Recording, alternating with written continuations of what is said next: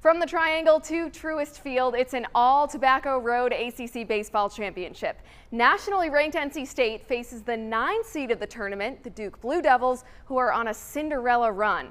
Duke has won 11 games in a row, hoping to continue that streak and top a solid NC State team. No score, two outs, top of the third. Graham Pauley is on first for Duke.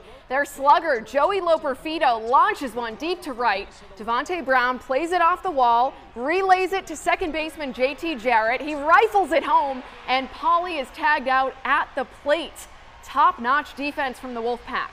Now top of the fourth, still no score. Ethan Murray cranks one to left field. That'll be off the wall, and he trots in for a double. Couple batters later now, Murray is on third. Peter Matt flies out to the opposite field, but it gets the job done. Murray's able to tag and score, and that was the only run of the game. Duke wins a defensive battle with State in a 1-0 victory. So the Blue Devils are ACC champs for the first time ever, and they're bound for the College World Series.